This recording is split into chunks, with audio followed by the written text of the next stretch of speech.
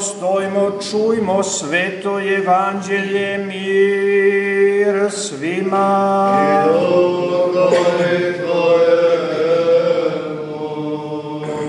Čitanje svetoga evanđelja od Mateja. Slava tebi,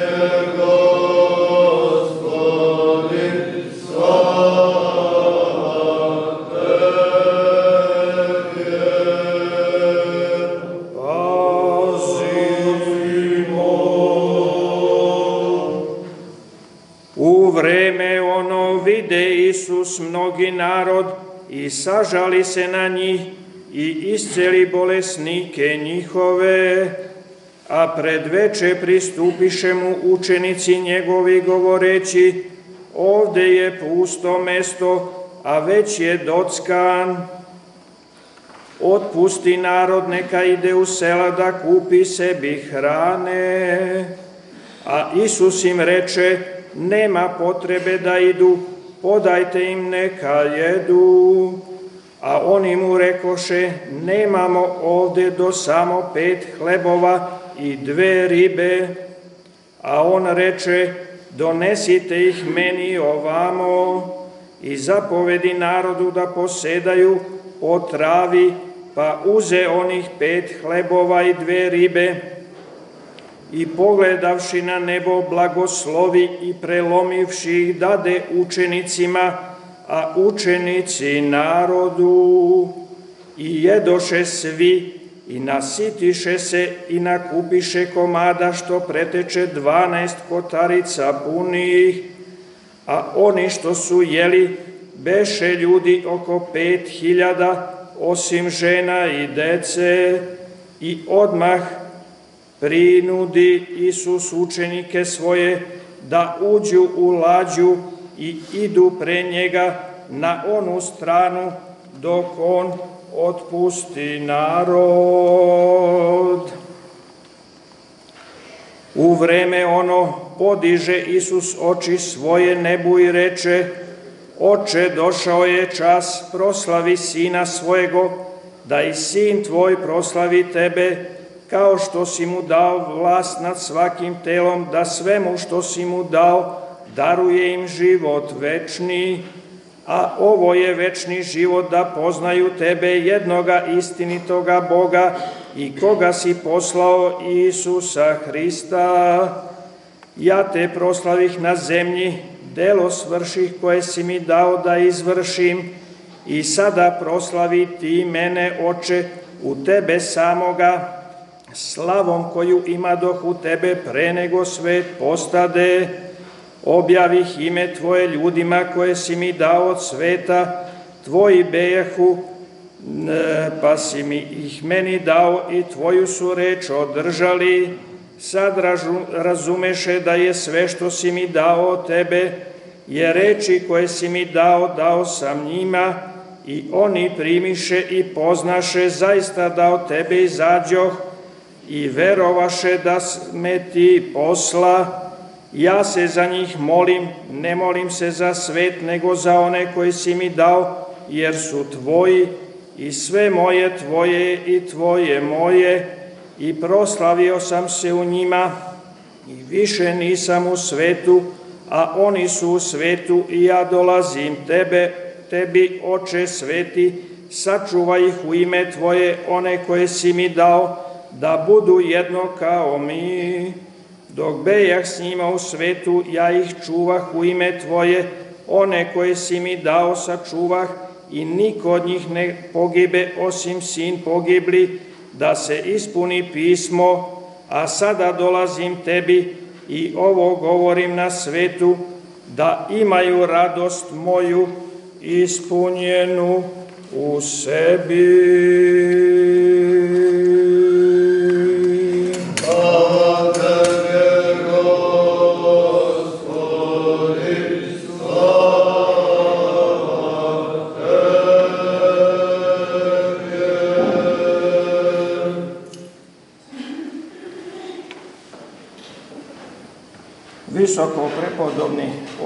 Igumane, časni oci, draga braćo i sestre, Hristos Voskrese.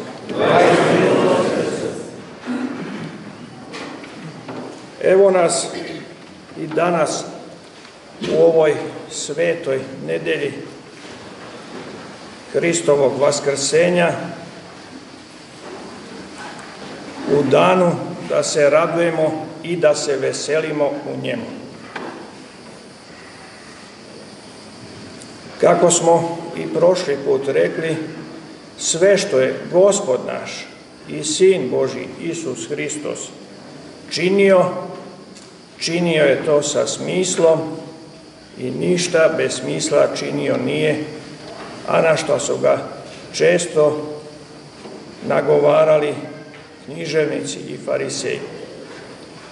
Evo i danas on je učinio čudo pred narodom i nasitio od pet hlebova i dve ribe pet hiljada ljudi, kako kažu u evanđelju, osim žena i dece, što znači da ih je bilo mnogo, mnogo više.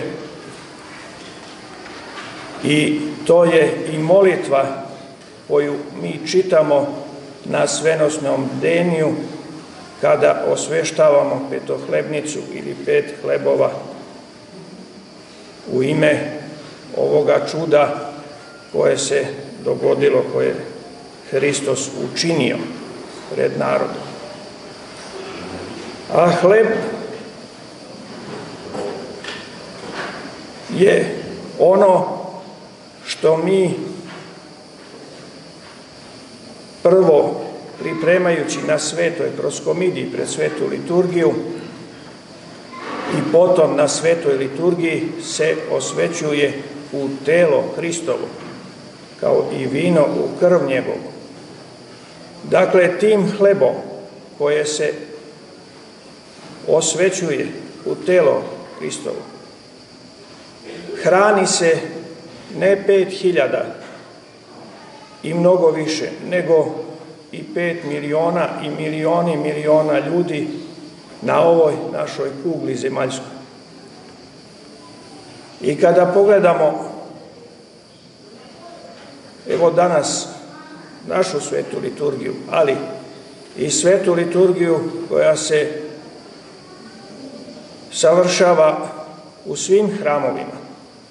U stvari ona nikad i ne prestaje ako uzmemo s kraja na kraja na kraj ove naše zemaljske kugle i ove vremenske zone, tako da možemo reći da sveta liturgija nikada ne prestaje i na kojoj se hleb i vino pretvaraju u telo i krv Hristovu i čime Gospod hrani sav verujući narod na ovoj kugli zemaljskoj.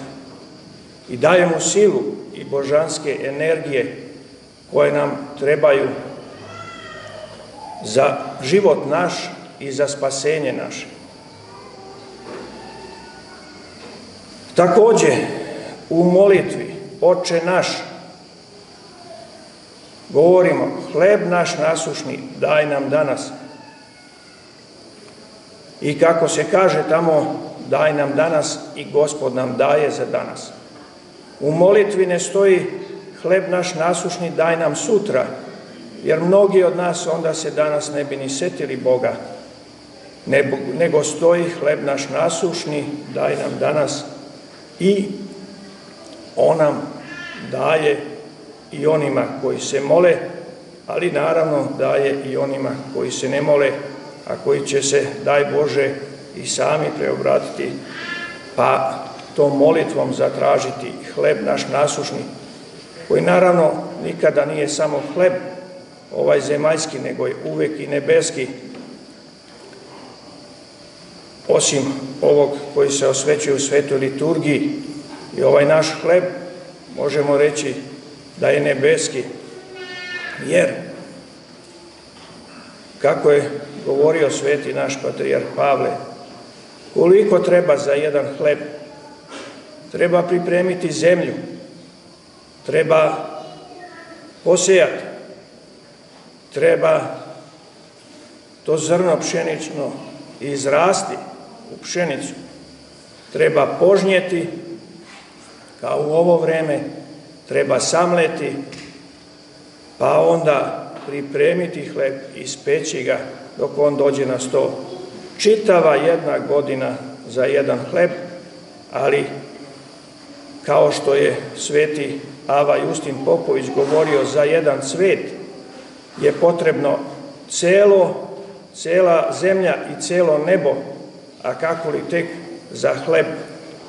Znači, potrebna je cela zemlja i celo nebo i u njega, u taj hleb koji mi jedemo, su utkane te božanske energije koje nam daju energiju i zemaljsku da možemo da naše poslove činimo, ali i nebesku e, da možemo, znači, kroz svetu molitvu i svetu liturgiju hraniti se njima kao nebeskim hlebom. Kako je govorio opet sveti patrijak naš Pavle, i zato treba davati, nikada u stvari ne davati telu više nego što mu treba,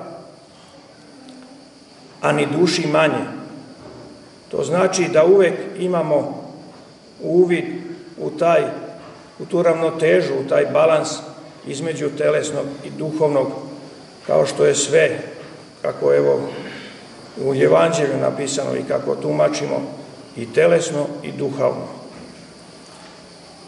I zato vidimo u Evanđelju da je preteklo od tog hleba kojima je gospod nahranio ljude, pa je rekao da se sakupe u kotaricu. To znači da, ne daj Bože, nikada hleb ne bacati, jer bi to bila zloupotreba ove božanske energije koju nam je gospod dao. Nego i te mrvice sakupiti, a i od njih se mnogi hrane kao što je u Evanđelju napisano za ženu ono koja je govorila da i psi se hrane od mrvica gospodnjih.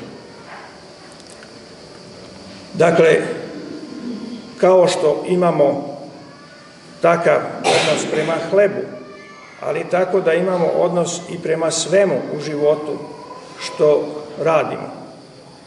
Da to s Božjom pomoći radimo po volji Božjoj, znači da vodimo računa o našem domaćinstvu, o našoj porodici, naravno o ishrani njegovoj porode, porodice i naravno i kada ugostimo ljude da imamo i da ugostimo kad nam dođu.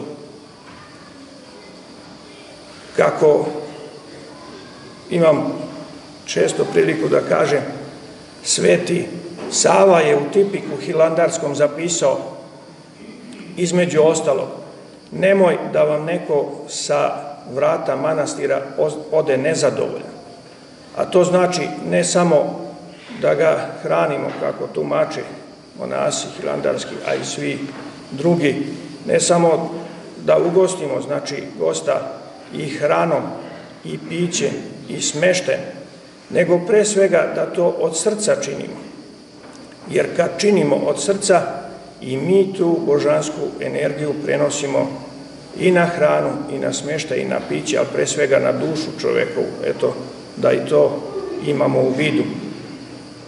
Jer svakome čoveku je potrebno, kao što je starac Tadej govorio, više pažnje, više ljubavi, više razumevanja. A to što mu je potrebno više jeste težnja za beskonačnim. To je svojstvo naše duše koje je od Boga da prima beskonačno mnogo pažnje, beskonačno mnogo ljubavi, beskonačno mnogo razumevanja i svega u beskonačnom. I zato ko to može dati osim onoga ko je sam beskonačan, beskonačni Bog, onaj ko je ograničen vremenom i prostorom, a to je čovek, on to ne može dati i ne trebamo da imamo iluziju da to od njega tražimo, ali to naša duša ište. I zato čovjek koji ne zna za Boga, zato je on nezadovoljan, jer on isto to potrebuje i više i beskonačno ljubavi, pažnje razumevanja, ali on to traži od čoveka koji i kad je sveti i najsveti ne može to dati zato što smo rekli da je ograničen vremenom i prostorom. A kad dobije od Boga, kao što verujući ljudi znaju, onda je on spokojan i onda ne muči čoveka da od njega traži ono što mu on ne može dati. Jer carstvo nebesko to su mir, radost i ljubav. Eto, to je to što dobijamo od Boga i ono nisu nikakvi prostori po zemlji ili po kosmosu, nego je to stanje duše, da bi znali, znači, da imamo taj mir, radost i ljubav i da tako još ovde na zemlji započnemo život večni. Jer ko ne započne ovde, svakako neće moći zadobiti po okončanju ovoga zemaljskog života tamo na nebu. Znači, ovde se to započinje, a započinje se, evo kao što smo i počeli ovu besudu, hlebom koji se pretvara u telo Hristovo i vinom koje se pretvara u krv Hristovu i kojom se pričešćujemo i kojom postajemo u malome besmrtni ono što duša naša traži i protiv čega se svi borimo, znači protiv smrti, protiv đavola, ali to može dati opet samo onaj ko je besmrtan, besmrtni Bog, to ne mogu dati ni lekari, ni filozofi, nego samo onaj ko je besmrtna, besmrtni Bog naš, Isus Hristos, koji nam to i daje, evo, na svakoj liturgiji i na svakoj molitvi. Amin.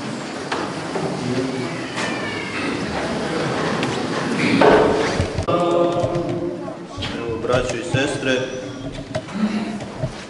da kažemo par reči pre svetog pričešća, budući da u jeku ove sezone, ove obmane, da nam je leto dato da se odmorimo, a u stvari kada se vratimo sa odmora treba nam nemalo vremena da dođemo sebi i kada nam se um toliko zamanta da praktično izađemo iz svesti i da i neke osnovne stvari potpuno zaboravimo, pa smo dužni kao oni koji su postavljeni da razdeljuju svetinju nad svetinjama, da napomenemo da najpre svetom pričašću mogu da prijeđu samo oni koji su kršteni u pravoslavnoj crkvi kanonskoj, pa čak i mala deca koja nisu krštena, neka ne prilaze dok ne prime svetu tajnu krštenja koja jeste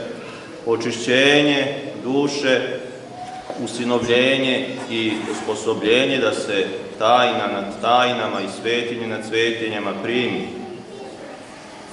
A i od nas koji smo kršteni, da imamo tu svest da je greh ono što nas čini beskonačno dalekim od Boga i što nas munjevito približava carstvu tame, kome sami svojim izborom i krivicom, ukoliko se posle greha ne pokajemo, stremimo.